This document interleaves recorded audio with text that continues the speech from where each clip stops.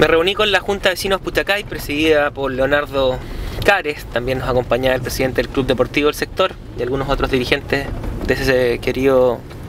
barrio de nuestra comuna penquista y conversamos respecto a distintos anhelos, proyectos en los cuales ellos quieren que yo les asista. Así que como es la tónica, de inmediato comenzamos a través del correo electrónico las gestiones necesarias para poder avanzar en, en ello. Así que muy contento, muy agradecido y muchas felicitaciones en particular a Leonardo Acare,